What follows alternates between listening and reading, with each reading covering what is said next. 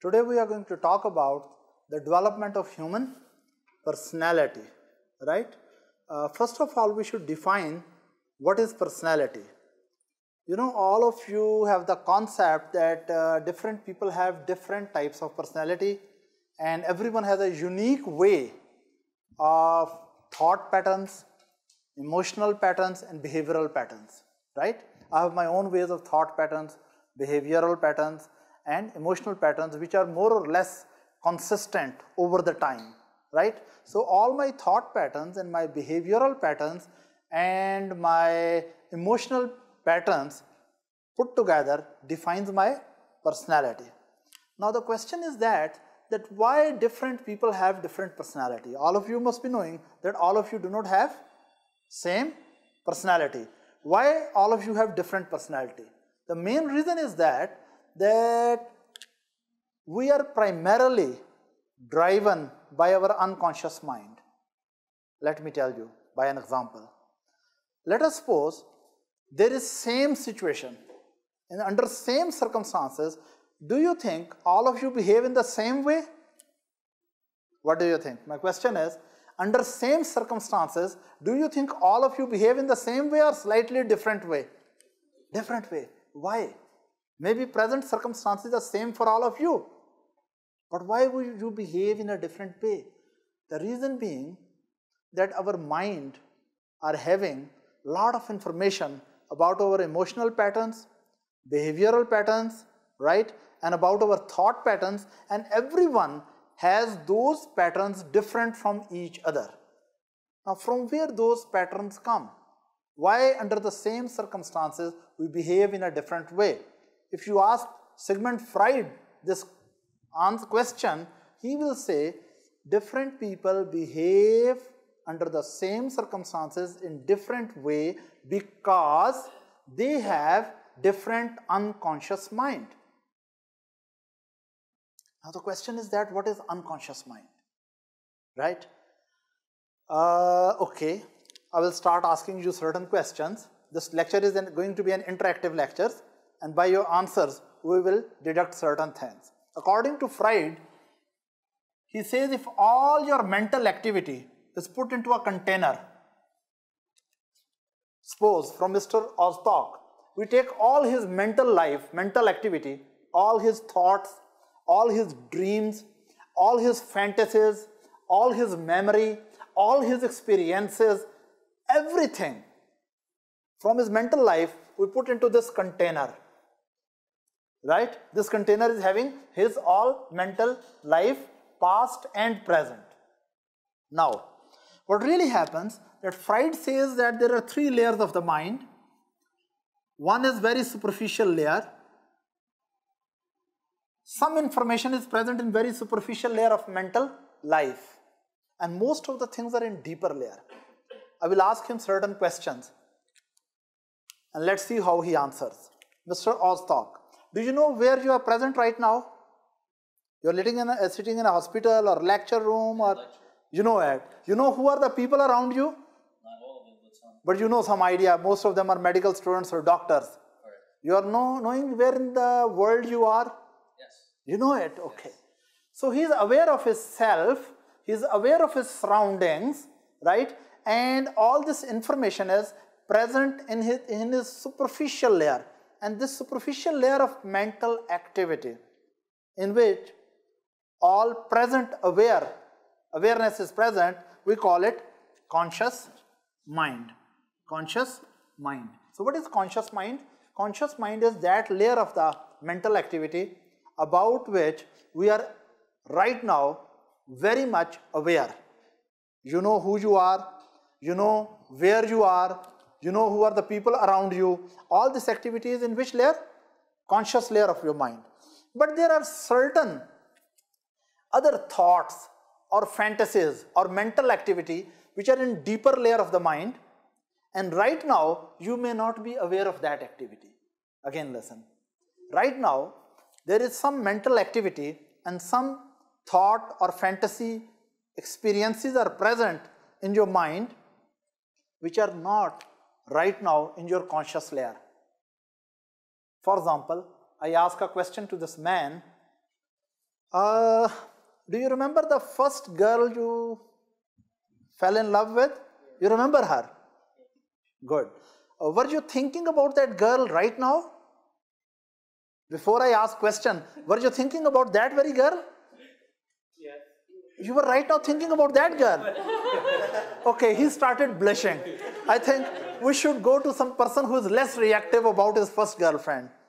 Okay, let's go to Mr. Oztok. I hope he ever had a girlfriend, right? So Oztok, you remember that lady with whom you fell in love first time in your life? Yes, I do. You- Not, I wasn't thinking about her. Okay, he make it clear. He says, yes, there was a lady and I was in love with her. But he says, right now, he was not thinking about that very lady. Is that right? It means all his memories or experiences or fantasies about that lady were not present in his conscious mind. But with little effort, he could bring those information to the conscious mind. Is that right? If I ask you that you have done your high school from which country? Puerto Rico. But before I ask you question, were you thinking about that? No. But when I asked you a question, with a little mental effort, you brought the information to conscious level. So what really happens that below this conscious layer, there is another layer of all mental activity in which there is a lot of information present and from here you can bring the information up to superficial layer you have a lot of memories lot of thoughts lot of feelings present into this deeper layer. And with a little effort you can bring this information here. For example if i asked you how you got admission in UNIBE? Can you answer that? You remember somehow what was the process? How you got admission in your medical school? Or you don't remember at all? You do remember right? Why? Because that information you can take from here up to here. So this layer of the mind from where you can take the information up to conscious level. This layer of the men- mental activity is called pre-conscious. What it is called? Pre-conscious. So now we have talked about two layers of mental life. This most superficial layer of mental life that is about your conscious layer. In conscious layer you are only thinking about present who you are where you are what you are doing. Is that right? What is the time you are aware of all these things. That is your conscious mental activity. But with little effort you can bring some information from your past up to your present awareness right? And this layer which has past experiences past feelings and past fantasies someone concerned about fantasies past fantasies right and these all information can be brought to the conscious layer. So this layer is called pre-conscious. Is that clear? Now we go to the real real real mind. There's a very deep area there. I think i removed this part. Below the conscious layer and pre-conscious layer there's a dark area. Because there is some information here you cannot bring it here. For example i asked you a question. Uh, when you were about six month old there must have been a time when you were tiny six month old and you were crying you were very hungry do you remember there was one friday and you were very small six month old baby and you were very hungry and you were crying and your mother uh, did not attend you immediately do you remember that No. no. Okay. Then you remember another Sunday when you were about eight months old and you were very hungry and your mother immediately started breastfeeding you? You don't remember? He is telling a lie. Actually, his conscious and pre-conscious mind does not remember. This deeper layer of the mind remembers everything. Every every experience which happens in your life, right? Every feeling you have and every fantasy you have, that is present in your unconscious mind, the deepest layer. There's a lot of information present in deeper layers of the mind And this information which is present at this layer, you cannot bring up to conscious mind with simple efforts. Let me tell you. Let us suppose one of you had a very good mother and who was the mother who was taking care of the person very good, feeding him properly, changing the diapers in time, and emotionally keeping the baby very comfortable. You may not remember, but your unconscious mind must be remembering that those group of experiences. And because when you were just one year old, and if your primary caretaker or mother was very good to you, and she was giving good care, care to you, at that very time, your whole world was only your primary caretaker. At that very time, your whole world was just your mother. You never knew at that very time that what was happening in other countries, what was happening in the wars. You only knew if mother is good, everything is good. If mother is not good, nothing is good. You remember that? Now, those times actually you have forgotten but your, your unconscious mind has not forgotten those experiences. Now, if you were treated very well during your first year of life, you have been treated very well, it means that those experiences which are present over here, they are not forgotten and they are still driving your behavior. Let me tell you how. When during first year of your life, you are taken good care. You develop a trust to your mother that whenever you need, your mother is there. When you are in trouble, your mother is there. Whenever you are hungry, your mother is there. Whenever you are wet, your mother is there. So your little unconscious mind thought that whole world is good. And as you decided at that very time, you, your mind started trusting the mother, right? That those group of experiences are still in unconscious mind and now you are still carrying those experiences with you. And now if you need to trust someone, those experiences will help you to make decision that you should trust or you should not trust. There are other people who are unfortunately in their first year of life not treated well. And at that very time, when they were not treated well, they thought mother is not predictable mother is not trustworthy. And their unconscious mind with those negative experiences is so strong that today, when they are going to make a deal, their unconscious mind is telling them not to trust. Now you may be thinking how our mind can be so full that project the experiences of first year of life and mother experiences to the rest of the world. Answer is that your unconscious mind does not think in a logical fashion. Your unconscious mind does not think in a logical fashion. This is number one reality. Number two, real, logical thinking is conscious mind. Unconscious mind does not think in a logical fashion. Then there is another special thing about unconscious mind. Unconscious mind does not have a concept of past, present and future. When you are sitting here, you can think about that these are the experiences of my present life. You may think there are some experiences which happen in the past. You may fantasize something about future.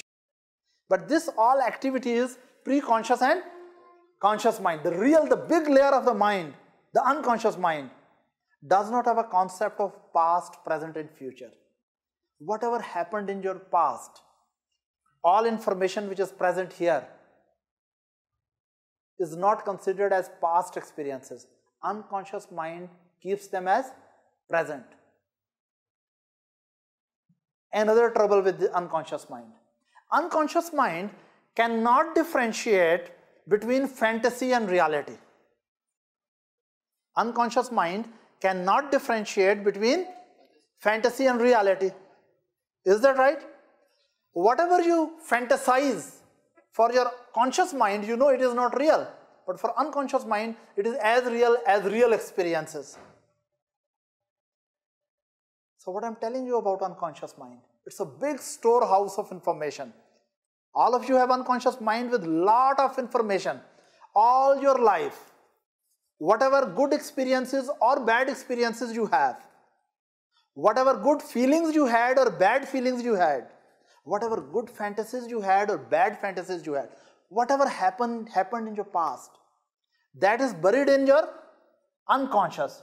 And many of those things are buried so deep that with your special effort, even by your effort, you cannot bring most of this information to unconscious mind. So you may think that you have forgotten those things, but your unconscious has not forgotten those past experiences, past feeling, past fantasies. It has just buried them. And it has buried those all, all experiences, buried them as alive. Normally we have a concept, we bury something that is dead. But whatever is buried in your unconscious is not dead, it is buried alive. And it is still today, right now is working there. And it is still controlling your decisions of today. For example, I'm the same teacher to all of you. But do you think all of you like me in the same way or different way? Different way. Some of you may like me very much. Some of you may like me just little bit. And even some of you may hate me for no good reason. Why? Maybe problem may be your relationship in the past with your father. For example, if your father was very good with you in your life, then any other significant person come in your life, you will try to have positive experiences. And if you have some very negative experience from your father, you find a difficulty even to adjust with your teachers. The reason being, you may find that same teacher you may have the same teacher, but all of you may have different feelings about him. Problem is not with the teachers. The difference is in your unconscious previous experiences. Of course, some teachers are good because they activate good things of your unconscious mind and some are really not good because they activate really not good things from your mind. Right? But you have to remember that today, whatever you did with the people or with yourself, you say that you did it logically, but actually you were controlled by unconscious mind. And this is the real control of your behavior. And this real control does not think in a logical way. That is why sometimes under the same circumstances, people may have different behaviors. Is that right? So is that clear to all of you? That basically personality consists of all your patterns of behavior, your patterns of emotional life, and patterns of your thoughts. But why different people have different personalities? Because they have different unconscious mind. Am I clear? Now we can move forward. Now, about the development of personality, there are two main people, two main psychologists who talked about how the personality develop. One is the, all of you have heard of him, Sigmund Freud right? And second is, some of you may have heard him, that he is Erik Erikson. So I will talk about both of them, how they developed the theories about your mental and personality development, right? Again, all your past experiences are buried alive in your unconscious mind and they keep on influencing your past, keep on influencing your present, right? Now we will see how the personality start developing right? Here I will write uh, the first stage of development from the Erik Erikson. This is the foundation of personality and gradually will move upward. This is the first stage of development by the Dr. Erik Erikson. And here we will start developing the stages according to Sigmund Freud. Now, first stage of development means first year of life, right? In the first year of life, according to Freud, the first stage of development is oral stage. Oral stage. And then I will explain that stage also. What is oral stage? Let me tell you. When Freud tried to explain the human development of human personality, he said that at different stages of life, early life, different parts of our body become the center of our player. For example, according to Freud, and even you can observe it, during the first year of life, baby drives player from which part of the body?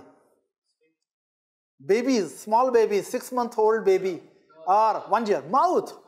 Have you seen it? Small baby has all the player from here. What he is trying to do? Whatever he finds, he will put it in his mouth because he want to get some player.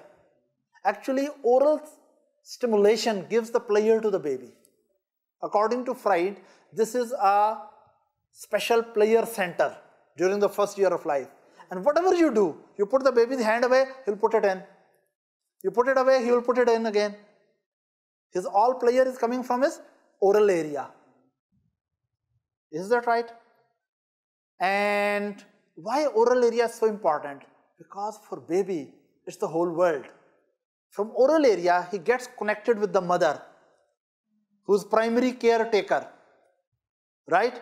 From oral area, baby is going to get the nutrition. From oral activity, when he is baby is suckling to the breast, he gets not only nutrition but emotional love. And baby also gets physical support and warmth. Right? So all babies player is around oral area. From where baby discover oral area to stimulate the oral area is great because very early experience after birth told baby that whenever something nipple come in mouth, baby feels great, well protected, warm, emotionally secure. Is that right or not? And nutrition. So baby thinks that if I'm having player from this area, let me get more and more player. So when nipple is not there, he'll put his finger in mouth. Or mothers are clever. When they are not there, they put some sort of thing, you know, plastic thing in baby's mouth. What do you call it? Right? Why they put it there? So that baby remain and feeling that I'm having good player, something mother like is there. Is that right? So Freud calls the first stage of personality development is oral stage. Is that right? You are developing gratification only from oral area. You may be laughing that what this breastfeeding or oral stimulation has to do with your personality. It has to do something with your personality. How? Because even some people, they remain fixated at this stage. They don't pass through this stage to the next stage properly.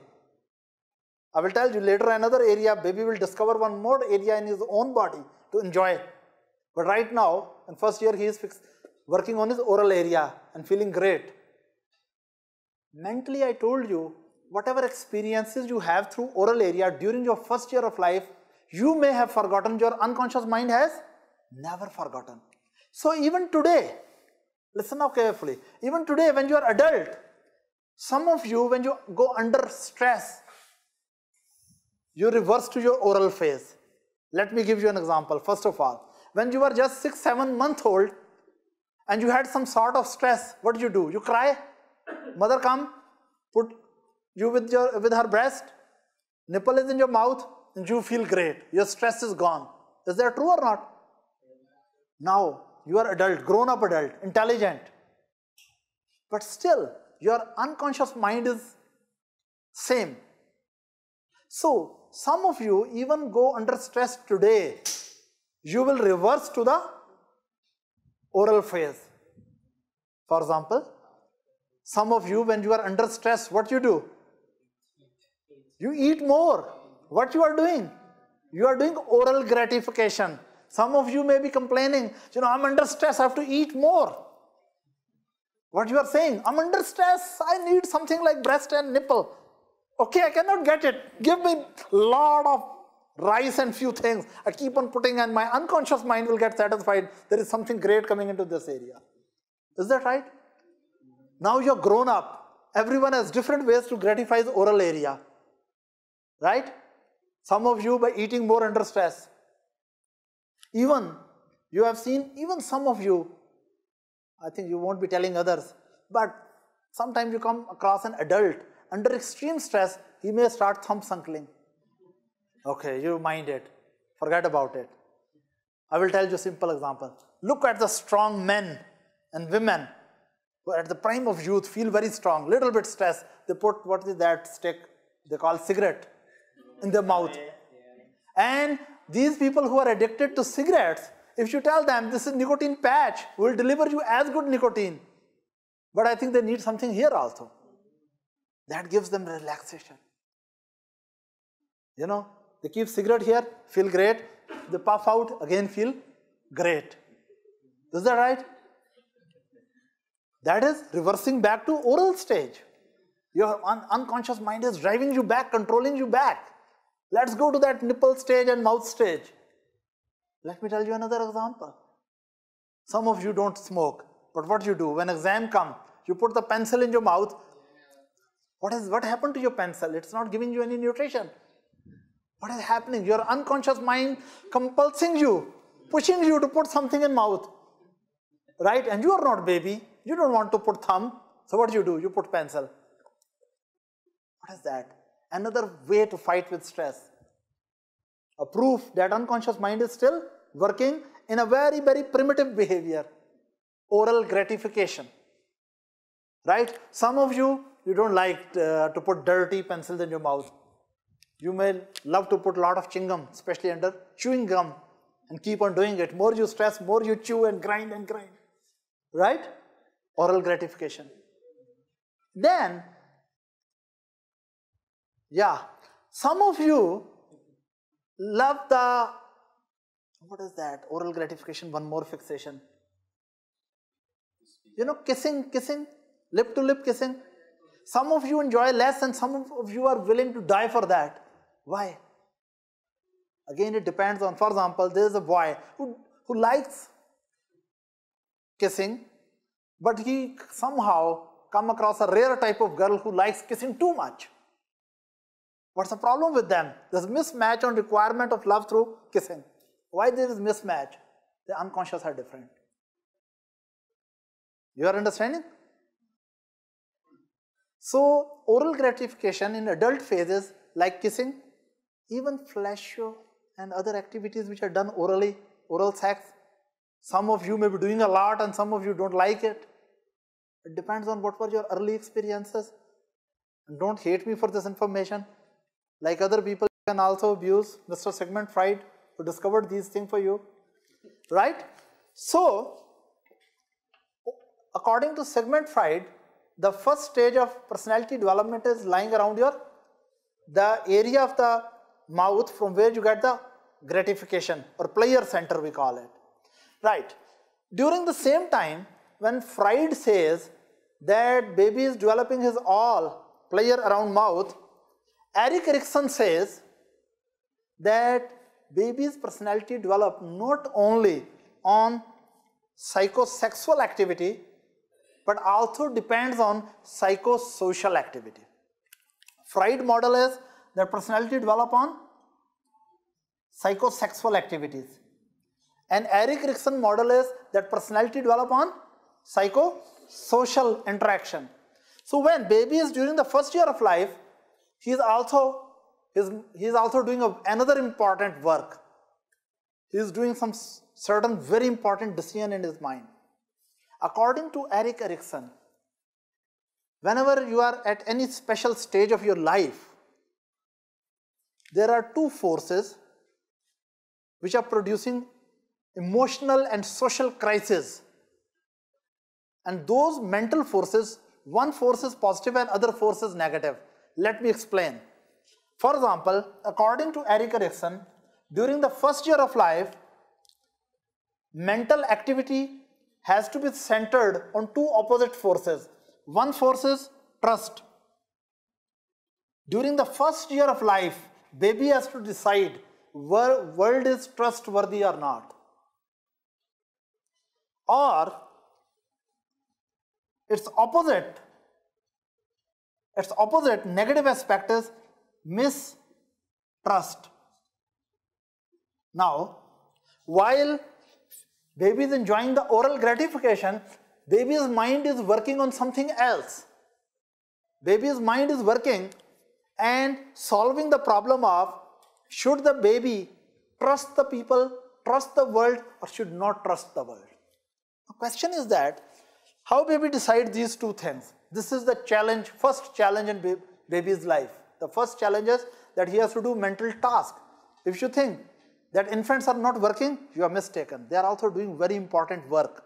Their mental work is that they have to decide at first year of life that up to one and a half year of life, they have to decide the world is trustworthy or not. And lessons are at from that stage which are influencing your decisions today even. For example, some of you trust easily to the other people and some of you may not trust even your best friend. I know some of my friends, they keep on suffering but still keep on trusting. And there are other people who don't suffer because they don't, trust, they don't trust anyone, but they don't have any advantage also because you have to trust in practical life. But baby's mind has to decide about the trust or mistrust. Now this is a tension in the small mind of the baby because mothers are not perfect, they are also human being. Now, when baby during first year of life is totally dependent, baby is totally dependent on the primary caretaker. When you are totally dependent on other, then you have to trust them that others will fulfill your needs. Other, will go, other people will go with their promise. For example, a very small baby, just six month old or eight month old, his mind is working all the time. That I'm a dependent person, I cannot go and make milk, I cannot change my diaper, I cannot control temperature of the room. So, primary caretaker is going to, can I trust my mother or primary caretaker for my needs or not? For example, if mother is very caring, very loving, if she has been giving you nutrition properly, emotional need properly, changing your diapers, controlling the temperature, keeping you safe and comfortable, what you think? The small mind think initially, my primary caretaker is good. It's trustworthy. Whenever I'm in trouble, I just give a signal of cry and usually she is there. The small mind start thinking that I should trust. And of course, sometimes mother is mother and human also she's not there in time and you cry a lot. And if she does not come, you're thinking, oh, I cannot trust much. Now, all the first year of baby life, mind is struggling between trust or not to trust. This is the mental tension. This is the mental challenge. And this is the foundation of the personality, the decision which will be made at this time. If primary care taking has been good,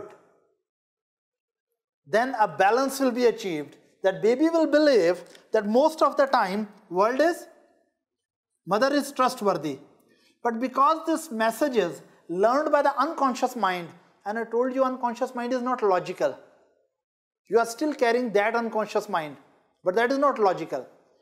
Unconscious mind as you grow up initially it thinks okay mother is great Mother is trustworthy. Actually, for you, mother represents the whole world. So, as you grow up, you start believing the whole world.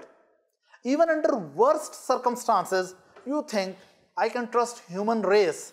I can trust the external world. Somehow things will get better. And if you resolve in the positive fashion, you get a very, very special strength in your personality. And if, unfortunately, due to sad experiences of first year of life, you resolve in this direction, you will put a very strong weakness in your life. Now, the baby who has resolved this in a positive way and decided that world is trustworthy, in spite of sometimes my mother is not there to serve me immediately, but eventually she comes. So baby believes in that he can trust. And when you can trust the world, a special personality strength come to you. That is the reward of this mental work in a positive way. Who knows that reward? That reward is hope. The strength which develops in the baby's personality is hope. What is hope? Hope is a situation when even if Mother sometimes fail to give the service. Baby has a hope she will eventually come. And when that baby grow up as an adult, sometimes life become very hard. Right? Things look very dark and bleak. Still your unconscious mind is saying you should be hopeful. And the person who is hopeful, he will do more effort and eventually come out of troubles. Now let me tell you an example. Let's suppose in your class there is a girl, right, and there's a boy, and let's suppose that boy has a very unfortunately early negative experiences, right? So he does not have strength of hope in his personality. What will happen to that boy? Little bit, he fail once, he will become hopeless. If he fail once in his exams, he will become hopeless. When he will become hopeless, next time he will not study much. Because if you are hopeless, will you study? And again you will fail. Or if you have this weakness in your love relationship, you have some disappointment. And after the disappointment, if you are on this side, you will become hopeless very soon. You will not pursue your love relations and you will lose them. But you will come across some people who have the strength in their personality, even in their love relation, or in their financial situation, or in their professional career, they have a big setback. Even after the setback, their unconscious mind is telling them, You see, I know you are having stress, you are having disappointment. Somehow things will become okay. So that person will still keep on following the relationship, even it is going bad.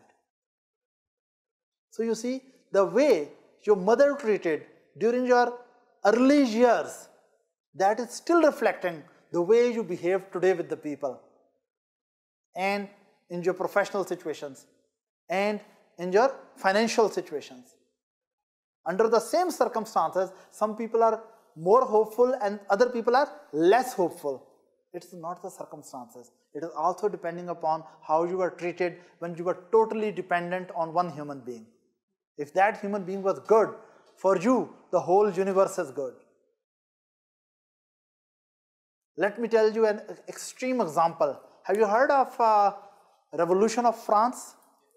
There was a lot of bloodshed. That during the Revolution of France, the lower class people, right, and middle class people, they had revolution against the elite class, upper class, and they started killing everyone around.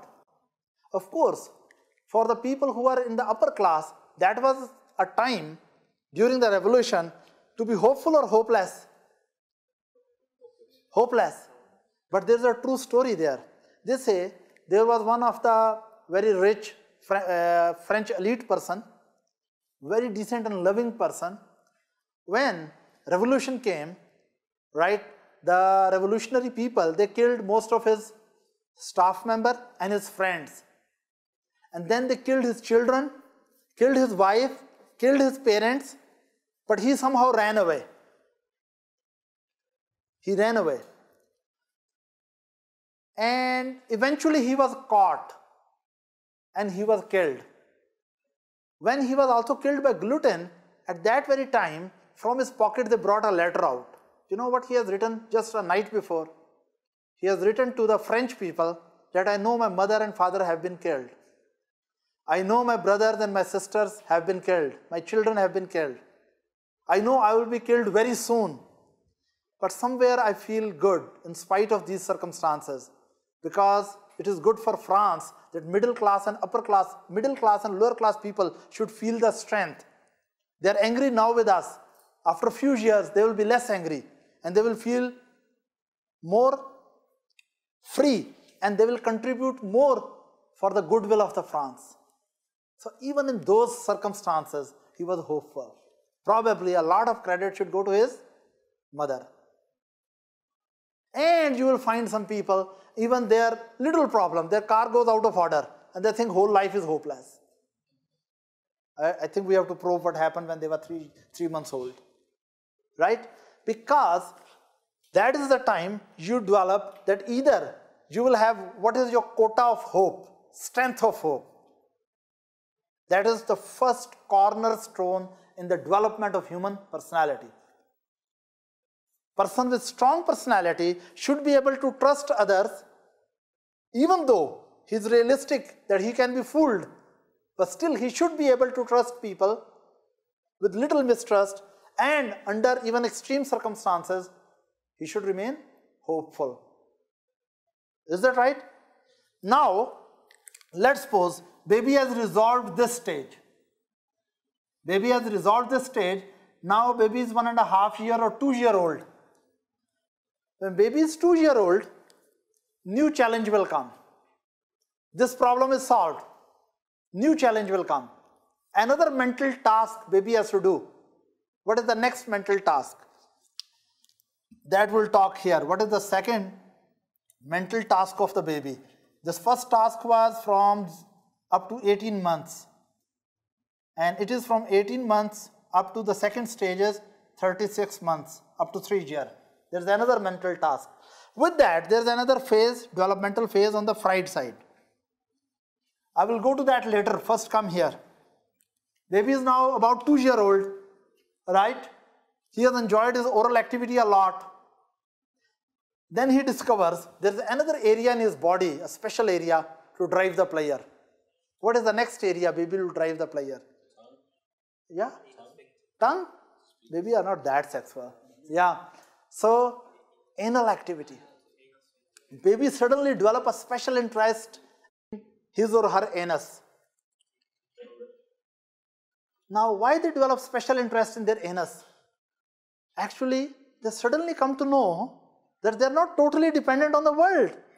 There are certain things they can control. For example, they can control their own sphincter. And they say it's a great thing. Yeah, everyone likes to grow. Baby also likes to grow from total dependent situation to semi-independent. So first discovery, baby feel great that I can control my sphincters. You know, the problem is that around that parents start toilet training. Now babies start developing the player around anal area, right? And he try to control his anal activity. For example, if baby does not want to pass the fecal matter, right, he will control it. Sometimes baby gives so much value to their activity of the sphincter that they take pride in that. And mothers know sometimes baby put their product on something and bring to mother to eat. If mother is not cooperative, they put in their own mouth. Yeah, these are the true things. He's very proud. This is the first time he has a control, at least on himself. Small baby never had it. So, his next area of player is anal activity. And Freud call this stage of development anal development of personality. Anal stage of development. So, baby has gone from oral stage to anal stage. Is that right? And according to Erik Erikson, baby is also doing some mental activity at the same time. Now what is the second mental activity? That is autonomy. Baby feel somewhat autonomous versus shame and doubt. Right? Now, in the second stage, the mental decision is that baby has to decide is the baby fully autonomous or he should have a feeling of shame and doubt. Let me tell you. How baby feel autonomous? Now baby can move around. Do you think 6 month old baby can move around? No. But 2 year old baby can move around. He feel autonomous independent. He can control his sphincters. He can release his material. He feels autonomous somewhat. Is that right? Here is around anal activity. At this phase, now mental task is that baby has to decide to himself how much autonomous baby is. And mother, mother or primary caretaker around that time is doing toilet training for the baby. Now look at the situation. You know, baby has started controlling the sphincters, but there's no perfect control. Sometimes he does mistakes also. Is that right? You know. Now, if toilet training is very tight, You know, some mother, especially the first baby, mothers don't have experience with raising baby. So especially with the first baby, mothers become very active in toilet training. They wanted their child should have very perfect control on the sphincter as soon as possible. Is that right?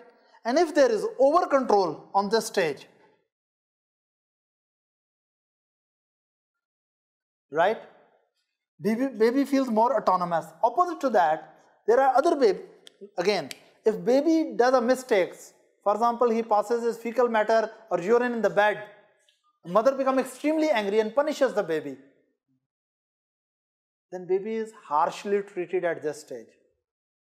Babies should not be harshly treated. I will tell you what is the problem if you harshly treat the baby at this stage. For example, baby is not perfect. He is just feeling he is autonomous. And whenever he thinks his autonomy fails, he feels in his personality shame and doubt about his own personality. For example, baby does not want to pass fecal matter, but somehow it goes out. Baby also feels shame and doubt. And if mother beat him and very hard or punish, he will feel very much shame and doubt. That shame and doubt will stay all his life with him. I told you unconscious, baby may forget, but his unconscious mind will not forget that experience. So what really happens that baby has to experience, decide a balance between autonomy and shame and doubt. Autonomy means you have a choice of decision. Shame and doubt that sometimes you make stupid decisions. Is that right? Another example.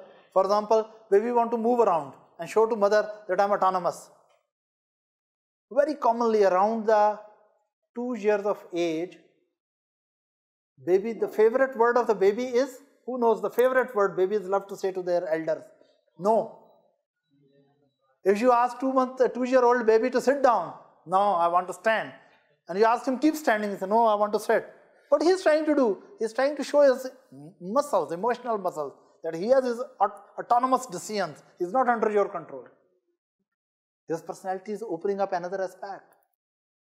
If you are good and wise parents, you will be firm with the baby but with some tolerance. Sometimes you will tolerate his innocent. No. But if you beat him, if you are harsh and punish him, then he will not, he will feel whenever I ex exercise autonomy, I suffer. So he will develop shame and doubt for his own decisions and shame and doubt on his capabilities. Is that right? Now we were talking about basically second stage autonomy versus shame. And the major task for baby was, what was the major task at this stage? Toilet training. Toilet training. And at first stage, what was the major task? Feeding. Right? During the toilet training phase, if baby is overtrained and harshly trained, that will also produce pathology. You know what is the pathology? What is the pathology? Those baby become obsessive compulsive OCDs babies, when they develop an adult, if you are very harshly, unduly harshly toilet trained all your life, not only your anal sphincters become tight, I think your moral and social sphincters also become tight. Yes? People become more unduly moralistic. They start passing judgment on others. They want everything to be perfect because these were their mothers, they wanted perfect control on the sphincters. So because they were harshly punished for their sphincter failures, so themselves they got very tight control on their sphincter, but that affect their whole personality. When they grow up, they want perfection in everything. They are obsessed with the times, they are obsessed with the schedules, they are obsessed with the programs. If any program changes, they get very disturbed. Right? They are very much concerned with the list of the things and if anything is short, their whole world fall apart. Is that right? If they are overly trained and they are having very strong moral values, whatever values are they have, and they always keep on passing judgments on others. Do you think this is a pleasant personality to work? No. So usually the first child, not always, but usually the first child is trained very harshly and very with a lot of precision by the mother. So these babies, the first, they when they grow up, they want to be very responsible, very much on time, everything according to the schedule. Is that right? And looking perfection in themselves and also looking perfection in other. They're not fun to be with them. There's no fun to be with them. Opposite to that, usually if a mother has five children, by fourth, fifth child, mother has known that even if she is not so hard on the baby, somehow sphincters start working on the baby with little delay. And if mother doesn't care, because she has learned with the time, it is that even if she is not very hard on toilet training, somehow baby's sphincters start working. Then those baby have opposite problem because they don't have much training. They are messy in their life also. You go to their room, everything is messed up. Let's suppose I tell you the situation, there's one person extremely tight toilet training, other no toilet training, little toilet training. The first person, when he is going to study, you want every paper in a proper way, all the colors of the pencil put in a special way. And I think he, will, he is going to study for one hour, but to make put the things in order, he will make maybe long, two hours. Opposite to that, the other person, he is going to study.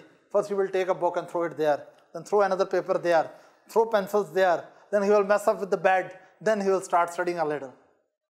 And maybe you are getting it. Is it clear? These people are not having st strong moral judgments on them, and they don't have strong moral judgments on others.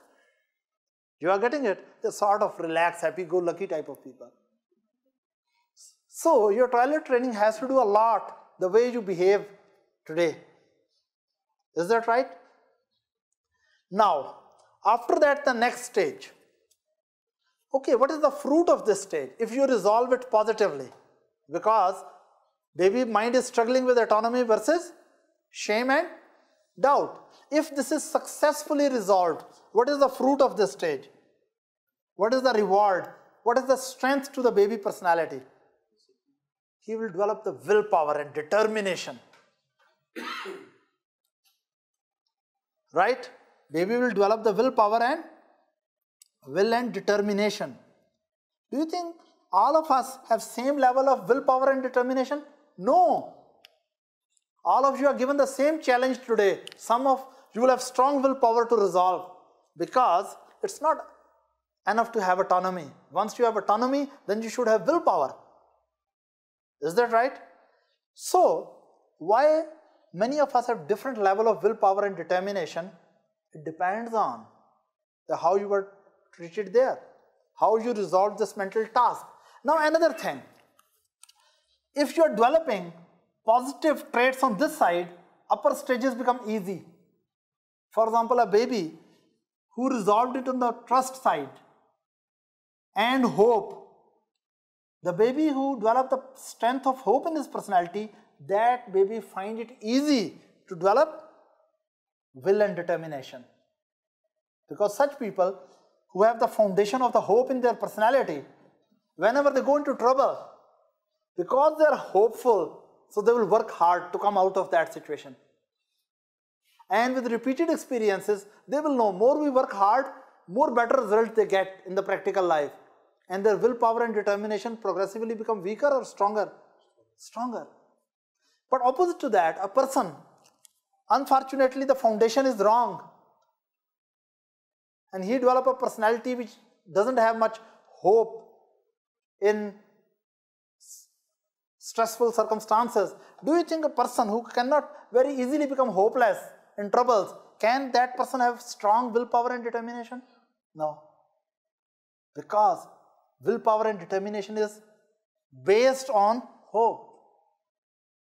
If you are hopeless about your studies, will you have determination to study? No. But if you are hopeful, in spite of your bad grades, if you are hopeful, then you have determination to improve your scores and improve your grades. Is that clear? Now we go to the next stage. Here is Freud situation. Next stage of development and there is Erik Erikson. According to Freud, the area of player Shift to another area now. Now baby discover another area of pleasure. Yes, Mr. Ostok, what is that area now? Oh my God, he is obsessed with tongue. I don't know what's wrong with his development. Oh, there are other things to enjoy, my friend. You have enjoyed oral stage, you have had the pleasure of anal stage. Now there is something other in your body to enjoy. Why don't you talk about your penis? Yes. Around this time, baby suddenly discover why I'm so obsessed with oral activity. Let's enjoy the genitalia. Suddenly, baby discover that by stimulating the genital area, there's a lot of pleasure. And you know, whatever gives you pleasure, you do it again and again. So babies are like you, or maybe you are like babies. So what happens? That we call this, Freud called this stage phallic stage. Phallic stage of personality development. I don't know why he was developing personality around such things. But anyway, he said that once you have gone successfully through oral stage and anal stage, baby's center of pleasure will now shift to his or her genitalia. Is that right? Let me tell you, it's very important stage. And you have to resolve it very carefully. Rather, baby has to, a child has to resolve. Uh, do you think you want this stage to be discussed first or that stage? There, you know, here baby is busy with his special new center of happiness. And there, baby mind is busy in some other mental achievement to develop the personality. Right? Now, next challenge is in the baby initiative versus guilt. Initiative versus guilt. And both stages are hand in hand. Now, here first baby developed the hope in a positive way. Then he developed will and determination. Baby was capable of trusting the world. He has also felt he has some autonomy that he can move around, he can grab the things, he can control his sphincter. If he's angry, he can pass it out something. Right? now he decides some initiative. By the time his mind is going to decide about initiative and guilt, his center of pleasure comes around phallic stage. This is in boys, and if I forget, remind me how the girls pass through this stage. Now, around this time, what is the age of the baby now? That is preschooler, 3 to 6 year. 3 to 6 years of age during that time. Now personality will have new foundations. First of all, look at this boy, then we'll talk about girl. Around this time, boy discovers something very special, that he has something like there, which his mother is not having. Is that right? They become aware of this thing, that they are having a penis, and with their certain experiences, they come to know mother does not have penis, sisters do not have penis, and somehow they develop that all the people around the baby, because he is special interested in phallic stage, penis. So start observing what's going on whenever chance is there. And they do get some chances because females are not careful with these three year old or four year old. So, baby, now this uh, child discovers, male child, that um, boy, baby boy, discovers that I'm having a penis, my mother does not have, and my father has. During this, baby has seen some other activity in the home. At very early stage, mother was everything. Is that right? The significant relation was only mother. Right? Then at this stage, autonomy versus shame and doubt stage, toddler stage, he knew that most important thing in the world are mother and father. Because babies start knowing that he's doing something, sometimes mother stops, sometimes father stops. But in early stage, fathers are usually not playing any big role. At this stage, they discover, baby boys, that we are having a penis and mother does not have and father has. Now they start resolving the mystery, why this difference is there. Then small minds start working on this. Meanwhile, another trouble start. A big challenge and big crisis in their emotional life that around this age, children start falling in love with the opposite sex parent. So baby, small baby boys start falling in love with the mother. Right? When they start falling in love with the mother, they get more close to the mother and they don't like their father to be around. You, if you really observe the boys in this age, 3 to 6, you will find that they want to keep the mother in a possessive fashion. They don't like father coming home. Even they keep on suggesting to the mother, why don't you kick this man out? Right? Usually mother is not going into that baby talk. They are wise, you know. So, baby is now trying to take some initiative to the mother. He want sexually and romantically win the mother and grab it away from the father. And repeatedly feeling father is coming in between. Meanwhile, baby's small mind is also working up. Why my mother does not have penis? My mother is my love object, but why this thing is missing there? And unfortunately, all baby boy reach to a very horrible conclusion. Almost all of them somehow in their mind decide that this is culprit is father. Father is all the time hard in the home, mother is afraid of him. I think my mother did some mistake and my father cut off the penis. Yeah, this is the conclusion in almost all baby boys. Then they become afraid of father because this is very valued thing because baby boy is bringing all player from this area now and he is very afraid of father that he may cut off my penis also. Yeah, that is true. That is called castration fear. The father will castrate the baby boy. Now he become more upset about the father and more loving to the mother right? All initiative is to love the mother. Now there's a lot of tension. You just imagine, small baby boy want to love the mother, very disturbed every time father come and their mother and child relationship disturbed. Of course, when father come in the home, mother is less attentive to the baby. She has to attend that man also, who claimed to be man of the house. Baby feel this very bad. And at the same time, he is afraid that he may not bring something and cut it off. So, baby is taking some initiative to the mother. He keep on suggesting that this man should be away and keep on fearing and developing guilt also. Right? That what he is doing. Meanwhile, he takes some other initiative because it's not enough to be autonomous. You should have some initiative to do certain things. Right? Certain plays, during this, baby tries his best to displace the father, but most of the time they are not successful, you must be knowing. If mother kick the father out, but reasons are different, not baby boy suggested, right?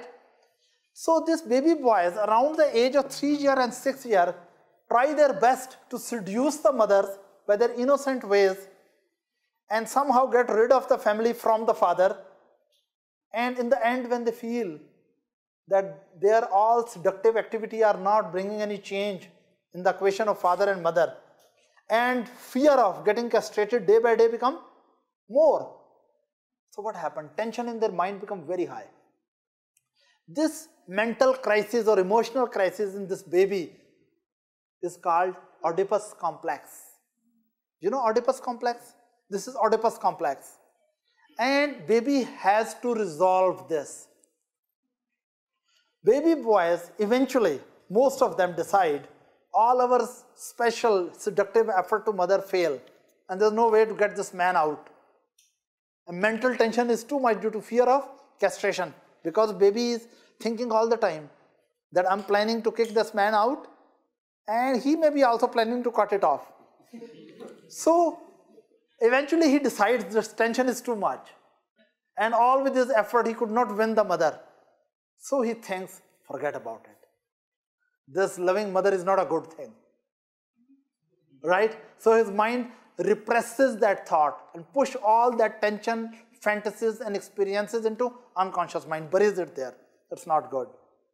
Why? Because when baby will become free, That baby does not want to win the mother, right?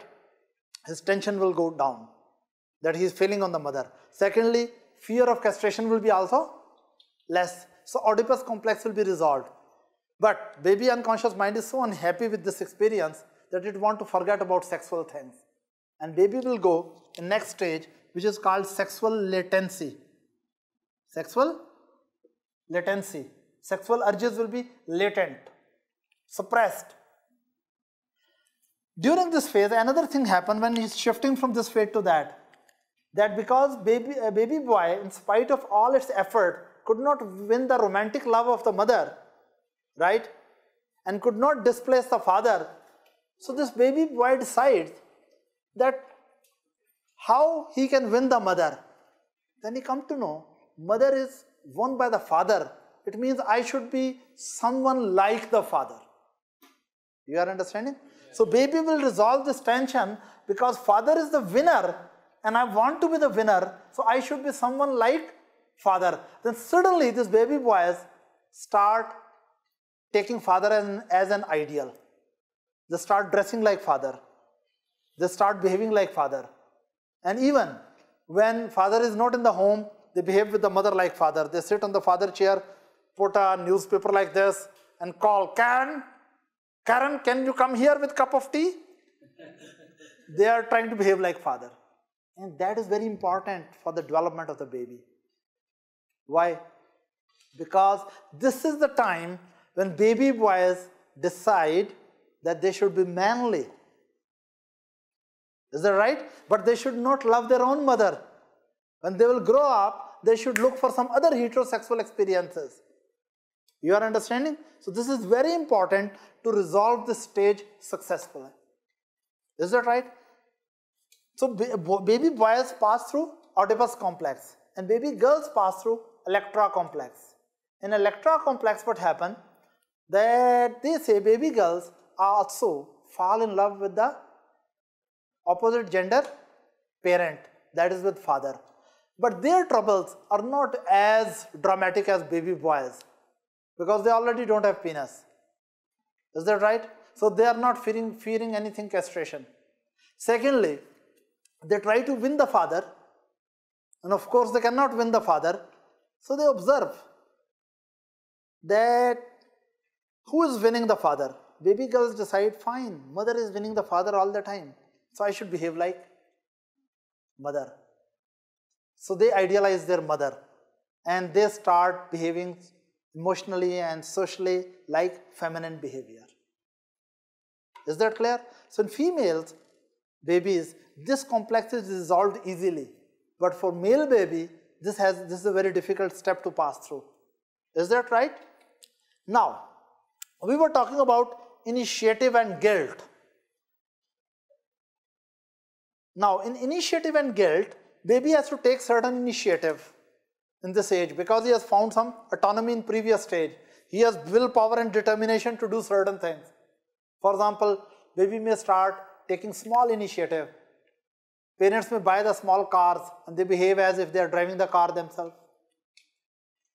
Baby girls start with the mother, they try to help in cooking somewhat. They start taking some initiatives and sometimes they do mistake and then they feel guilty. Let me tell you, eh, the same activity at this stage and that stage means different. I will give you an example. If you imagine that there is two year old baby boy, he takes his father's you know wristwatch and happily put in the toilet drain and flush it and watch goes down. Now for baby, if you are sensible father, do you think baby so a two-year-old baby who has put your watch into toilet and flushed it out, he had some evil intentions? No. For that baby, it's what was that? That was something shining, going round and round and then going down. and he enjoyed it. Is that right? He took a special autonomy. It was his decision, autonomous decision to flush the. Is that right? Fine. but if he is taking the watch and you grab it away, he feels shame and doubt. But if you grab it away, it is good. But if after that you beat him, he will lose you know, confidence in his capabilities. Now you imagine. But if five-year-old child, he takes father's watch, put in the flash and flush it. Do you think this baby has taken initiative, but it is a wrong initiative? This baby is supposed to know that this shiny thing, this father's watch, if it is put in the flash and it is flashed, this baby should know what will happen to watch. And this baby should also know what will happen to daddy's temper. And baby should feel guilty. So same event at this stage is manifestation of autonomy. Here this will end up into guilt. But do you expect two-year-old boy to be guilty of his flushing the watch? It is round round going down shiny. But here it should be guilty. So what happens? That here babies take initiative and when they make terrible mistakes they should feel guilty. And personality should have a balance in both things. The healthy personality develops when initiative is strong with little touch of guilt. Because if you have only initiative and no guilt, that is abnormality. And during this stage, if parents make you for everything you do, you are made to feel guilty, again personality is defective. This is the balance of the two which will bring the new strength to your personality.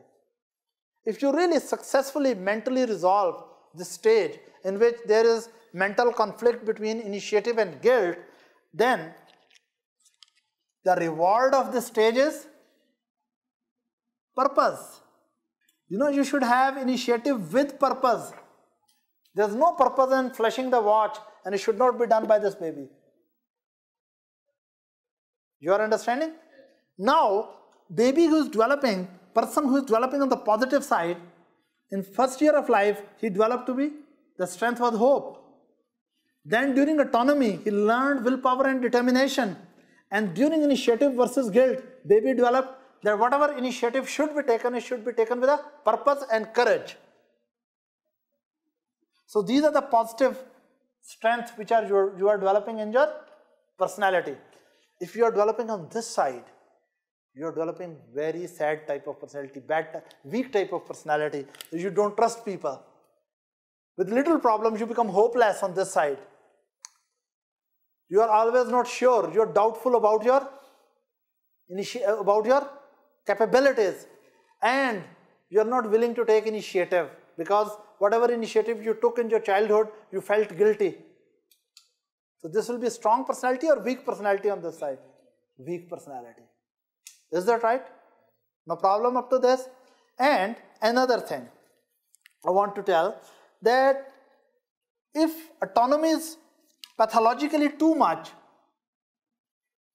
if parents make you too much autonomous in early life, that is also dangerous. People who are made autonomous too much at early stage, when they grow up, they develop a problem. The problem is impulsivity. They become impulsive.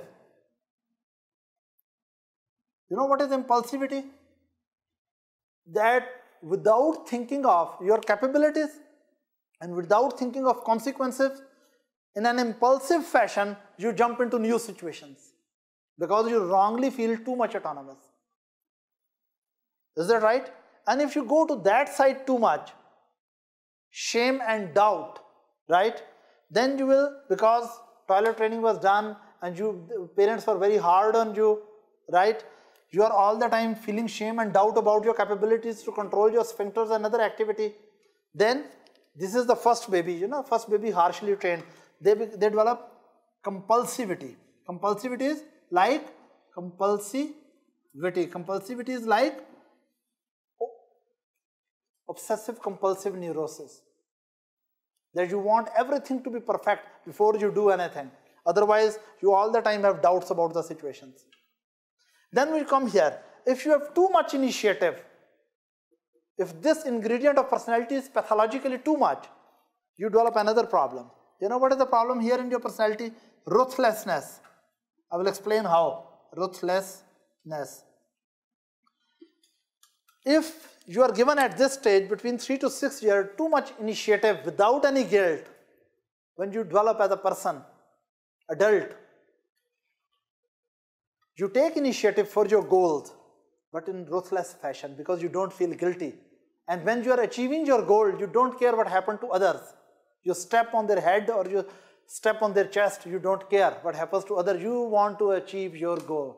That is the problem when you are given too much initiative without guilt you become ruthless. But if this ingredient is over too much, then you have another trouble, and that trouble is severe inhibition and inertia, too much inhibition in everything.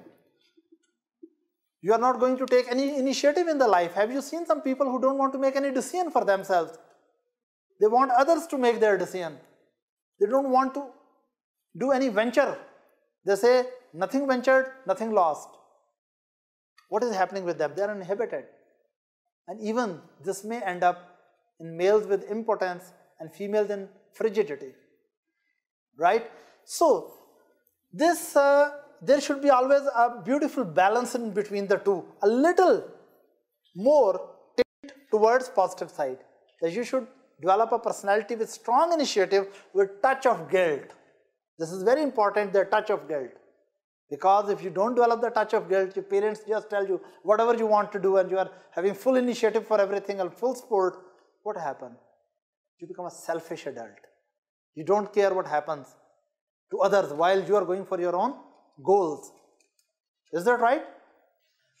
Anyway, now this person who has developed balance in all these things, he's a hopeful person and whenever trouble is there, he will still keep the hope, he will exercise will and determination and all his activity will be with the purpose and courage. Is that right? Then baby will move to the next. 6 year to 12 year of age. 6 year to, from 6 year onwards, 6 to 12 years of age. Now his social circle is widening. As you know, initially it was only mother, then mother and father. Then in next stage, family. Which are the important, significant people. Is that right? Now, school and neighborhood. Now, baby has gone beyond the family and he's somewhere between 6 and 12 years of old. The best thing is that sexually he has gone into latency. At this stage, usually boys like to play with boys and girls like to play with girls. Is that right? And uh, boys are idealizing their fathers and girls are idealizing their mothers because they suffer too much at this stage, you know, phallic stage. Now, at this stage, there's a new challenge. They are going to school. There's a pressure to learn new skills, academic skills, athletic skills, or music. There are new challenges to learn new things, right? Now let's suppose there's one baby, one child who is positively developing. He goes to school. Now parent, Game has gone beyond the parents and family. Now school teachers are also significant figures.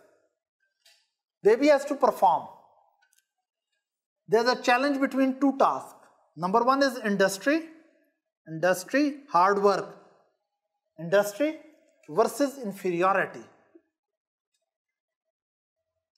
Now let me tell you what is meant by this. Now new mental task has come. Industry versus inferiority if child will perform well in the school or in the games on other tasks which society is pushing the child to learn if he will perform well he will feel I'm, I'm not inferior he is comparing his performance as compared to others performance or with certain standards and he will feel I'm not inferior and when he feels better he work hard to learn new skills and new competences and we say the child is becoming industrious which child will more easily go to positive sign? Now look at the foundation. Those children who go to the school, but if they have the strength of hope, will and determination, purpose, they will become more industrious. It means if your foundations are better, you can resolve at later stages of life easily on the positive side. For example, when this baby is asked to learn mathematics or suppose any foreign language, right? Or let's suppose he has to learn science. Now what happens? This is a new thing for baby. He has to develop a new skill. When babies start reading the books and taking less lessons from the parents, he feels frustrated because it's new. But if he has hope, if he has willpower, if he has a purpose, he will strongly come up with positive outcome. But if baby has sad things here, do you think he will have hope that he will succeed, succeed in learning new skills? Even if he is learning in a bad way, will he ex exercise willpower and determination? Will he plan his time purposefully to achieve something? No. So what I'm trying to say that if already foundations are weak, the outcomes at higher level of personality development are more chances it will go to the weak side. Or if foundations are strong, you will also develop more strengths on the higher level of personality development. Let's suppose baby has balanced out these in a positive way and resolved this conflict in a very good way and maybe a child learns in the school that yes, it's good to be industrious, it's good to learn, right? And it is not good to feel inferior. I'm as strong as I should be, right? Whatever performance he is giving, he feels it is good, parents are appreciating, teachers are appreciating, grades are becoming good, right? And he will resolve on this side. His personality will develop one more strength. And what is that strength? That strength in personality is skill and competence. Now all these strengths will help him in, as adult. If you have resolved positively in school time, skills and competences, and you have developed a confidence that when you want to learn new thing, you can. This person will be very strong as an adult. That let's suppose there is one person who is developing on this side, another person developing on that side. Just imagine both of them are 40 year old and both of them go into severe financial reverses. Who will come out? This one. Because he has a lot of financial losses, both of them, but he will be still hopeful. So keep on trying, keep on working. Even though outward circumstances are depressing, but his willpower and determination to come out of the bad situation will be strong. Then all his effort with, with a purpose to come out of financial trouble and whatever new skills he has to learn, he has confidence to learn the new skill to come out of that trouble. But person who is at the age of 40, suppose, where he loses the hope at the financial tragedy, he does not have any willpower and determination, he, he cannot live in a purposeful fashion and he thinks he cannot acquire the skills to learn new business to come out of his trouble, he will stick with his problems. Are you understanding? Fine, let's suppose child has learned this stage also positively and he got a reward of skill and competences. Now baby will go to the next stage. At this stage, the last stage will develop of the, what is this? Freud. Freud says that now baby is entering about 13 year to 18 year. So what is this puberty? That will become puberty. At puberty, there is sudden uh, you know awakening of what sexual interest. Suddenly baby again goes back to his own genitalia, rather more interested in others' genitalia also. you all of you have passed through that stage, isn't it? Now, there is reawakening of sexual interest. This is called by Freud genital stage. Genital stage, right? That is at the time of puberty and up to few more years. Genital stage. If, now according to Freud, if you resolve these things positively, baby will take interest in opposite sex. Because boys have resolved the Oedipus complex and they learn to be like men and love women but not their own mother in that way. Girls are also learned at early stage that it's not good to fall in love with the father, it's better to be mother-like but find someone else. So this is the genital stage according to the Freud. And Freud stopped personality development here. This was the Erik Erikson, he kept on developing personality until your last breath right?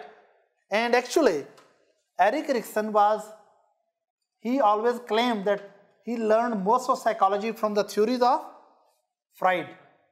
But actually, Erik Erikson came in psychology after Freud. Freud died in 19, late 1930s and Erik Erikson died in 1994, few years back.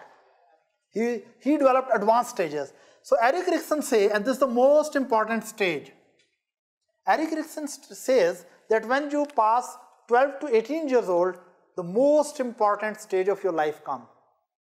A big mental task to do, right?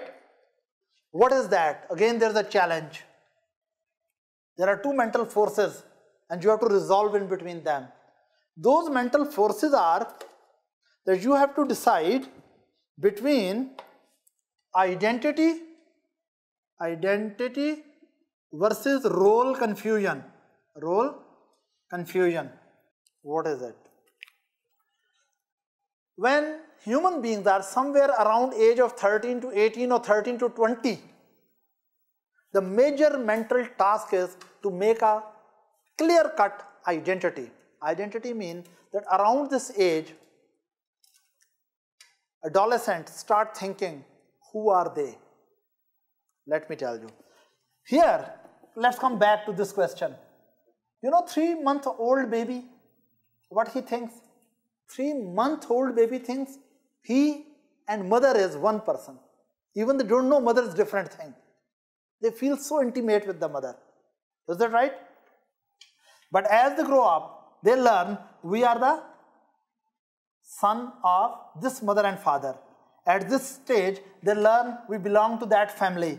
At this stage, they say we belong to, I'm a good son, I'm a good family member, and I'm a good school member. I'm, someone asked in school where you are, it is his identity that he is 8th grader or whatever.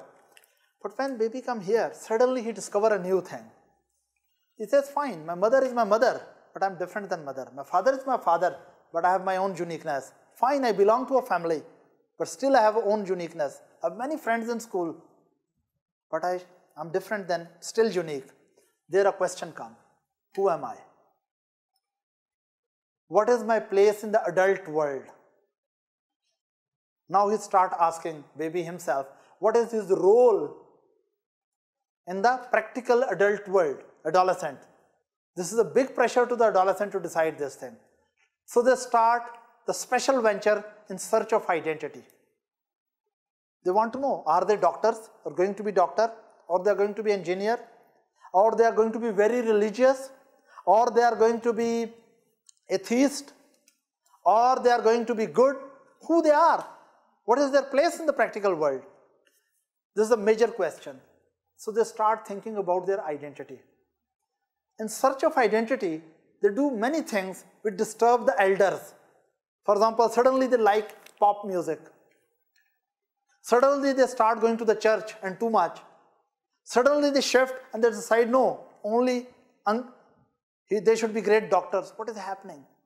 At this time, adolescents start looking around themselves and in the media a role model. They're looking for a role model because for them, here the most important, most important opinion is peer pressure. Here father looks somewhat stupid. Yes. Suddenly they come to know the mother is not as strong as they thought and father is not as wise as they thought. They think their friends are more wise because they know about some special music group which father doesn't know. So father should be stupid and they should be wise. Is that right? Now, around this age, they are looking for identity. For example, if they have some in the media on the television, they are seeing some special pop show again and again, they say we should be like that. Or they think you are showing them war heroes, they say, okay, we must go to the military. Or if they see, they see there that there is a very special type of, if girls see a special uh, model, very successful, lot of money, lot of cameras after her, she should be like that. Or the see there's some uncle who is a very good neurosurgeon, okay, we should be like that. Now they start actively looking for the role model. Is that right? And they have to decide in their own mind what is their identity. So this is the time to look for identity. If you pass successfully through this stage, then you will commit yourself with one specific identity. You decide to be a doctor. Then you start taking the practical steps that as a doctor, how you should study, which universities you should plan to go, how the doctor's life is there. You are giving, devoting your mental energy to a specific identity. Another friend, he resolve and decide I should be a military person. So he will start taking interest to that side. But before they reach to final identity, they do something, so much switching as a temporary identities they acquire. And that is the time where elders have to handle them with a lot of tact. Because in child mind, or adolescent mind, elders have lost their authority because they are not so wise. Son will look to the father, oh father, you have only $3 million? You are not billionaire. You never thought to be billionaire. You sound stupid. Yeah. Or girl may look to the mother. Oh, you cannot manage my father. Look at me. I can get five men after me like this. You cannot manage your own husband. You're a stupid woman. Right? So somehow adolescents have lost the real influence of the elders and more influences by the peer group. So elders are just like powerless, but still they have, due to their experience, they have to be very tactful to push the babies to positive identity. Because sometimes during identity search, children or adolescent may go to negative identity. And they may become fanatic. Or they become, they may join some very narrow-minded religious group just in search of they want to be something. Or they may join some mob in search of identity that we belong to this mob. Right? They may acquire negative identity or positive identity or worst, they may not have any identity. They have role confusion. So all of us, when we are passing through adolescent, the main mental energy is used in search of identity and elders and media role, elders role is that take the adolescents towards positive identities. Because if they go to the negative identity, they will make the trouble for society. And if they don't have any identity, still they will have trouble for themselves at least. Because person who does not have identity, clear cut, he is not well devoted to any final decision in his life. What will happen to that person? He will keep on changing his roles and professions and situations. One day, you may find a role confused person in the age of 35, suddenly he changes religion. Okay, everyone has a right to change religion if he want to. But in the age of 37, you find he has gone to another religion. In the age of 40, he decides, I don't have any religion. He's confused. Is that right? You have to have a clear identity around the stage. Then life will become easier. Right? You have to know who you are in this universe, what you are going to be in the adult world. Is that right? Now you imagine, look at the situation. Let's suppose uh, there's a neurosurgeon in the family and there are two boys, both of them are 16 year old. Now both of them decide in their mind, okay, it's great to be neurosurgeon. Rather, he, our uncle is stupid, he's neurosurgeon. It's more wise to be cardiac surgeon. Rather, very wise to be plastic surgeon. Now, they start dreaming about the identity of, suppose, cardiac surgeon. Now, when they start thinking about, they look for the choices. If they, they find it takes many years, it takes many, much effort, right? So what happens? The person who has these strength, if he really want to be a cardiac surgeon, he will commit to that. For another cousin, he said, no, I don't want to be cardiac surgeon. I don't want to be such committed life in a profession. I want to fly in the world. I want to enjoy the spices of life and I want to have a lot of money. He decides to be a big businessman. He wants to be a billionaire. Now his identity is like Trump, like Bill Gates. But again, that is an identity. So he starts thinking about that. But he will stick to billionaire's plan if he has hope. But not only you have to be hopeful to be a billionaire or extremely successful, you have to have willpower and determination. Then you, according to that purpose, you align your all life activity and then you should develop all the skills and competences required to achieve that big thing. Either it is big cardiac surgeon or big businessman. Is that right? If you have all these things positive, you will stick with your ideal. Right? And you will be devoted. You will be loyal with something. And we say the fruit of the stage will be loyalty. Or we call it devotion. The, this is a capacity of devotion. Everyone does not have capacity to be devoted to certain way of life. Devotion. Opposite to that. Same family. One uncle is cardiac surgeon, other is a big businessman. But unfortunately, one child was raised with negative experiences.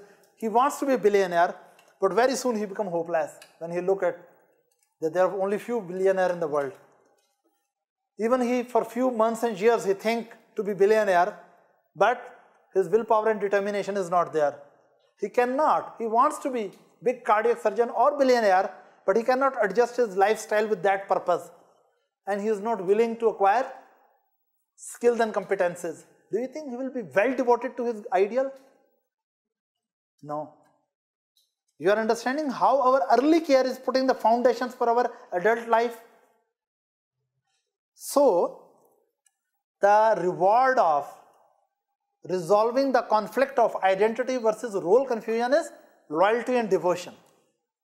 You're committed to your own self and your adult place, and you're willing to bring all these resources for that future plan.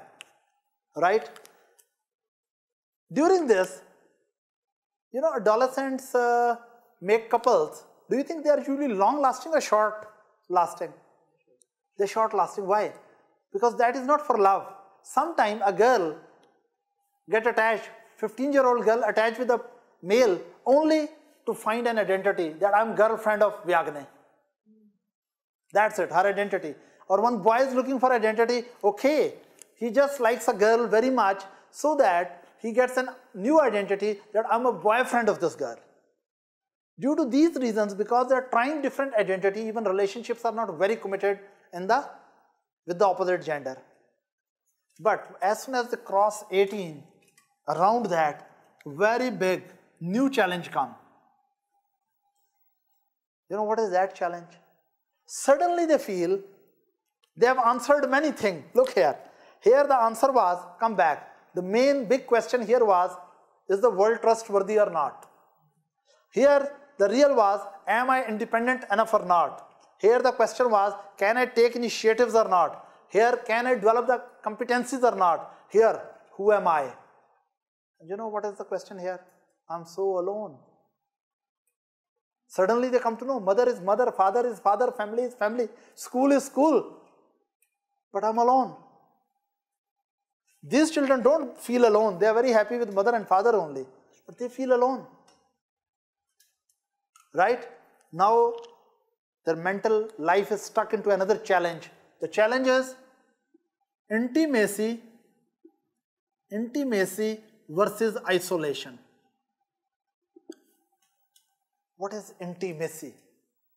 Developing closeness to another human being with all your trust, surrendering your autonomy to some degree, taking initiative for yourself and other person, developing the competences to make your life easy and other person's life easy, and having the capability not to be only devoted to your own professional goal but also to other persons.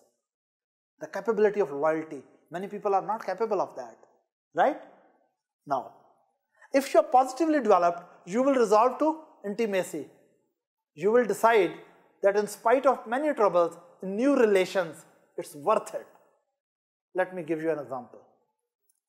Let's suppose in your class, there is a girl who is very positive minded and unfortunately she gets a boyfriend who is negatively developing.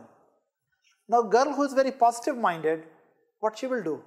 She is in a big test in relationship. But if she has developed in positive way, then boyfriend is not behaving in a good way, she will be still hopeful. She will have a true willpower to change him according to her wishes. Right? She will work on that purpose. She will develop new skills to tame that boyfriend.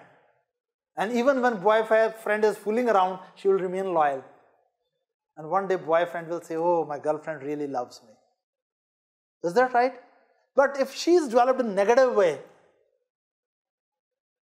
when boyfriend become a little bit less interested in her, she will become hopeless. She will not have will and determination to continue the relationship in spite of some trouble.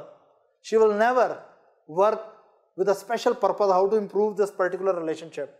She is not interested to develop new skills for this particular relationship and she will also become disloyal. Do you think their love can go far? No. So all these things will now determine that either your mind will decide, your emotional circuits in your mind will decide that intimacy is worth it in spite of all problem or if you are a person who are unfortunately weaker in personality with little, little trouble in intimate relation, you will say these are hopeless situations. I cannot win over there. And you start getting isolated. So it means that if the person who is positively developing, he has a stronger capacity of intimacy. The person who is negatively developing, he has weaker capacity for intimacy, so he will eventually like to be emotionally isolated. Is that right? He may have girlfriend, this person who is isolated, but he will not emotionally share with her. He will not trust her. And girlfriend will know that he is not trusting me. Do you think relationship will go ahead? It won't. Am I clear? If you develop this positive, what is the reward of this stage? Mr. Vyagne will tell me. You are quite an experienced man. If you work through this stage in a very positive way, what is the reward, the strength in your personality? Ostak. What is the love? That is the you become a loving person. You know who is a loving person? that even in bad circumstances, when he loves, he really loves. When things in the loving relationships are going bad, they remain hopeful.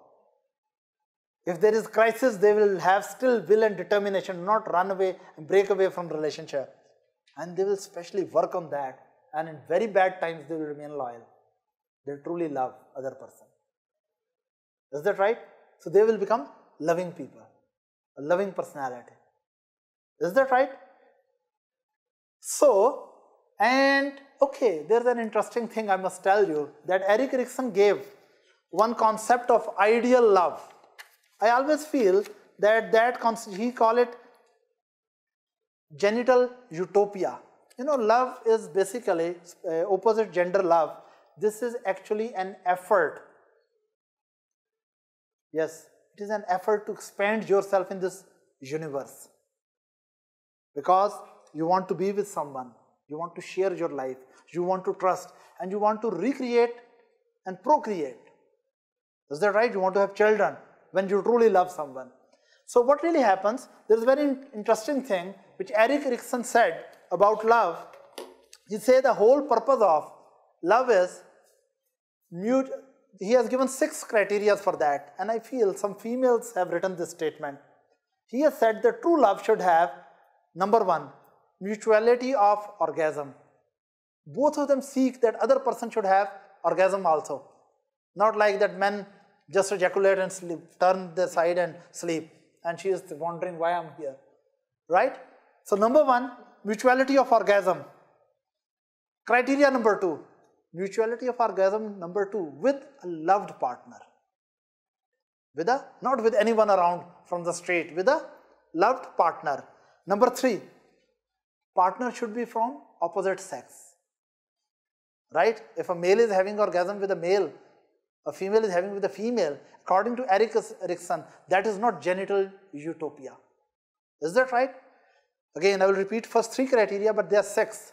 He says that at this stage, someone who has reached successfully what he will want out of life, he want or she wants mutuality of mutuality of orgasm, with the loved one partner, right, from opposite gender, right, with whom one is willing and able to share trust. The true love is not only sex and orgasms, there should be some degree of trust in between, right? So there should be also trust. And with whom, any other person, with whom one is able to regulate the cycles of work, cycles of procreation and cycles of recreation. True love does not mean just sex. Again, I'm repeating the component which Erik Erikson said that genital utopia, he says it's ideal, it is not achievable, but this is what almost every girl thinks that if it can happen in her life, and maybe some boys also. Number one, mutuality of orgasm. Number two, with a loved partner. Number three, from the opposite gender. Number four, where you can share trust. You can have trust on each other about every matter of the life. Number five, with whom you can share your cycles of work, cycles of procreation and recreation. They should cooperate with each other in these matters about their work habits, about their procreation plan. If girl want to be mother and father does not want to be, he says, no, you just remain my girlfriend. I will take 20 years to complete my career and then I want to be father. That is not an ideal situation, right? So they should be able to regulate their cycles of work, procreation and recreation with each other so that both of them provide a very strong platform for the personality development of their offsprings. You are understanding? So things started from the sexual orgasm and ended up on raising the children with strong personalities. That is the whole ideal situation. Is that right? Okay.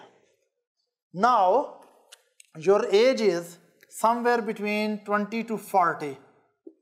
Either you will develop intimacy or you will develop isolation. And if you have worked hard to be for intimacy, then the quality you have developed, love. Now, something better and stronger than love is there in the next stage. This is the second last stage. Now your age is somewhere between 40 to 60 years. Personality is still developing. There is something very special reward at this stage that is a reward stronger and better than love. I know in your age you think there's nothing better than love, but we'll say it.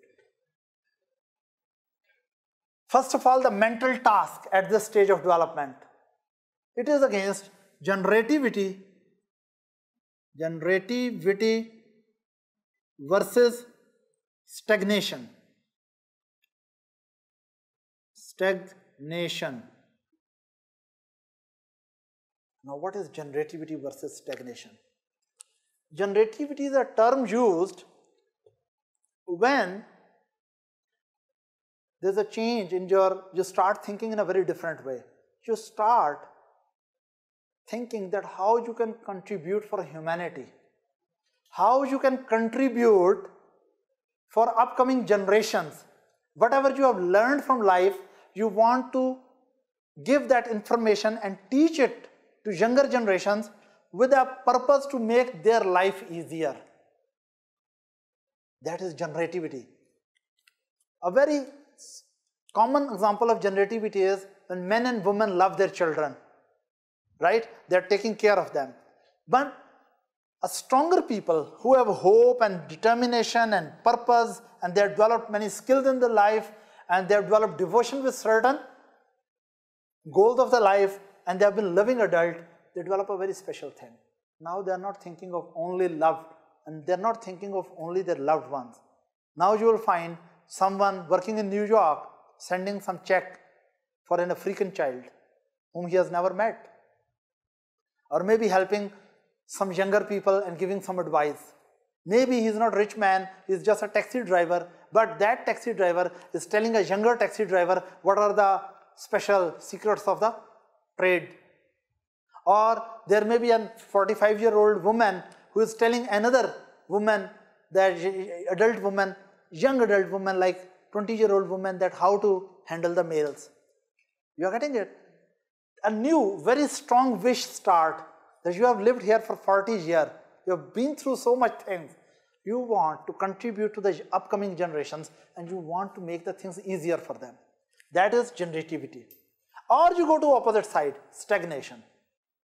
You become a negative way. You think world is not trustworthy, right? You have all negative experiences. At this stage, you think, oh, I could not achieve whatever I wanted. I've been in a nasty world for such a long time, right? And you think, even younger people, they're dangerous for me, they're trying to compete me. World population is going too much, right? And they get upset. They don't, whatever they have, they don't want to share with coming generations. It's not a matter of money. It's so the way you mentally think.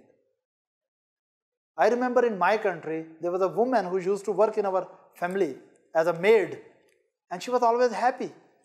Only worry she had that there is a one very poor girl getting married and how she can collect the money and buy some thing which can make her marriage situation better. Or that woman who's 45 year old, so poor, she was maid in our family, but she's always thinking there's another very poor woman, her child is very sick, I should arrange medicine right? And then there was earthquake in my country. And that woman was one of those women with little money.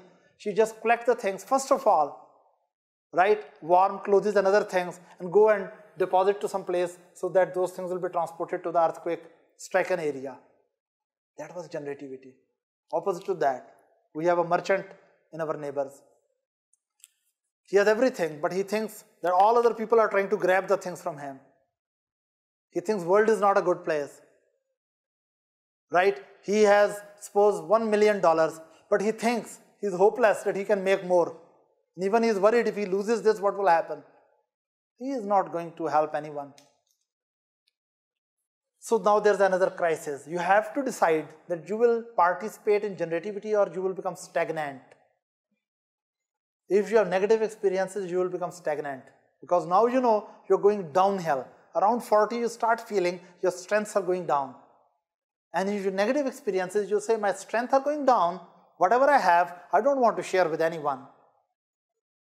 But if you're positively developed, whatever your weaknesses and strengths, you want to make life easier for the upcoming generation.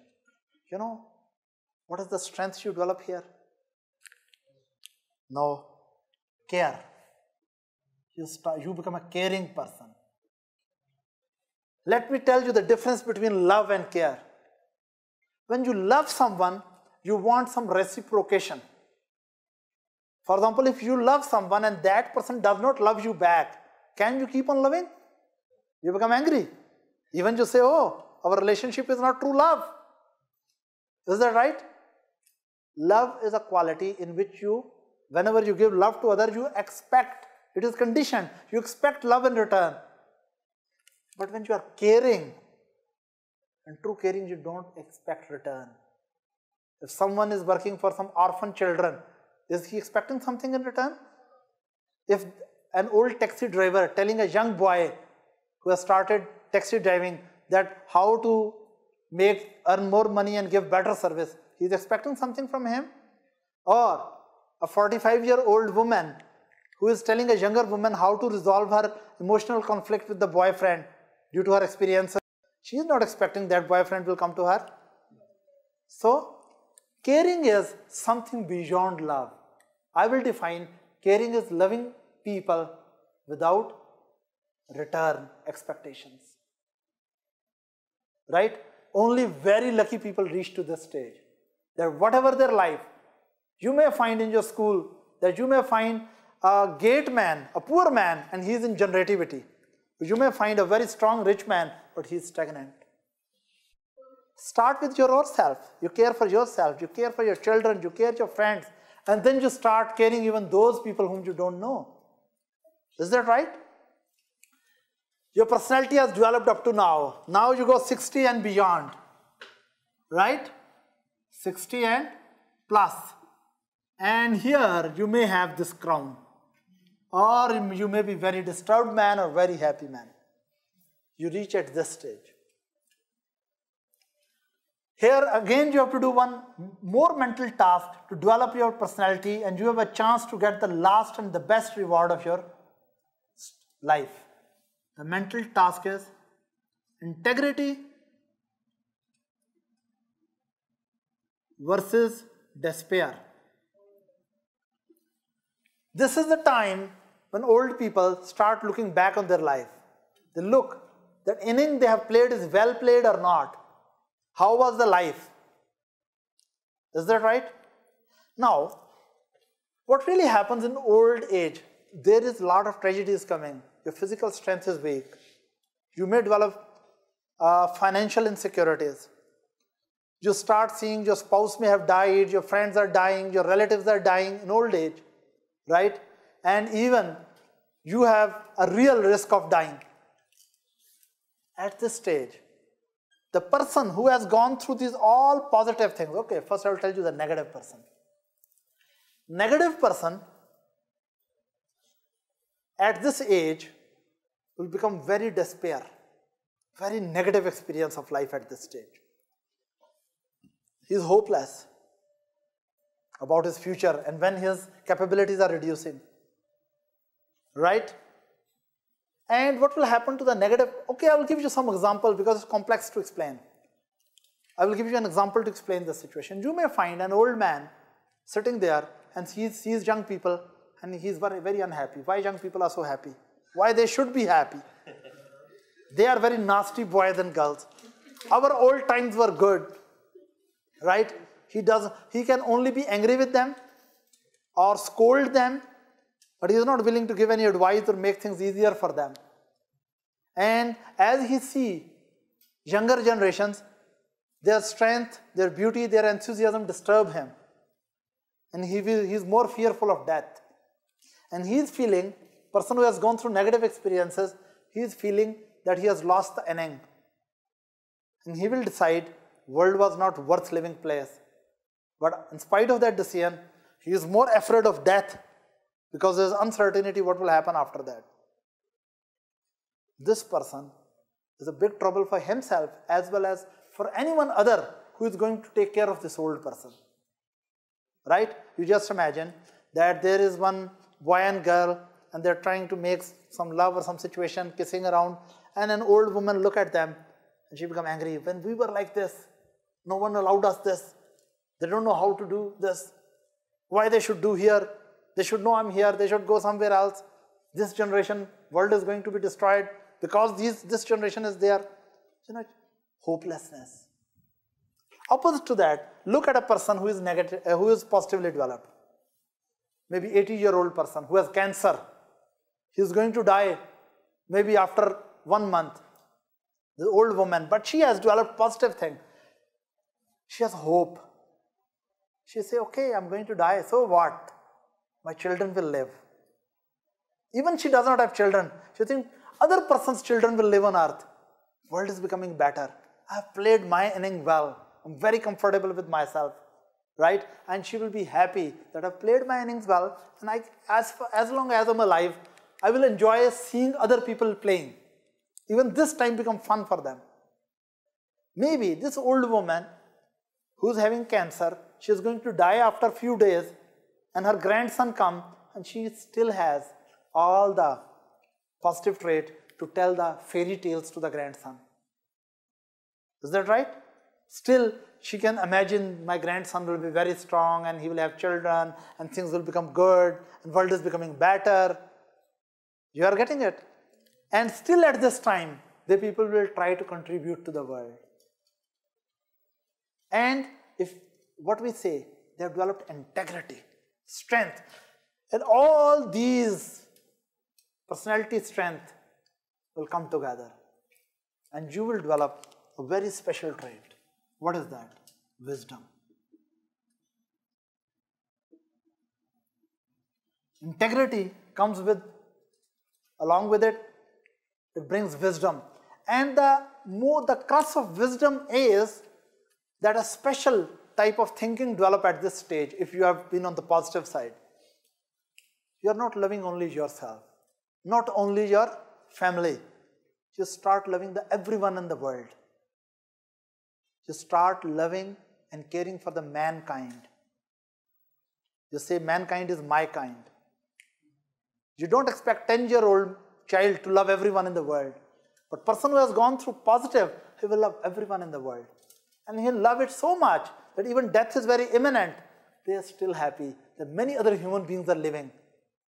And probably they will make the world better than this. So they will go with confidence, without fear, face the death. And these people, while they are moving towards the death, right, they started generativity and then integrity. Do you think before they die, they raise their kids in a negative way or positive way, people on the side? Positive way. So Erik Erikson said when he written all this theory in the end, that if elderly are not afraid of death, then their children are not afraid of life. If elderly are not afraid of death, then their children are not afraid of life. What he was saying, that if you are positively developing, you will take care of your children such a way that first of all you are so strong you can face the death and then you will raise the children who can face the life and challenges but somewhere if elderly are very much afraid of death Believe me, their children are afraid of life and the challenges because of negative minded persons here, weak personality here, raising the children in weak ways. You are understanding it? And the beauty of all this thing is that life started with the lap of mother. Life started with the lap of mother. If you have positive experiences from there, when you will go to the lap of your loved one, you will have again positive experiences. And such person who, is who has started his travel from the lap of mother in a positive way, when he will go to loved one, he will have positive experiences. And when he is going to the lap of God, he is anticipating more positive experiences. Am I clear to everyone? Class dismiss.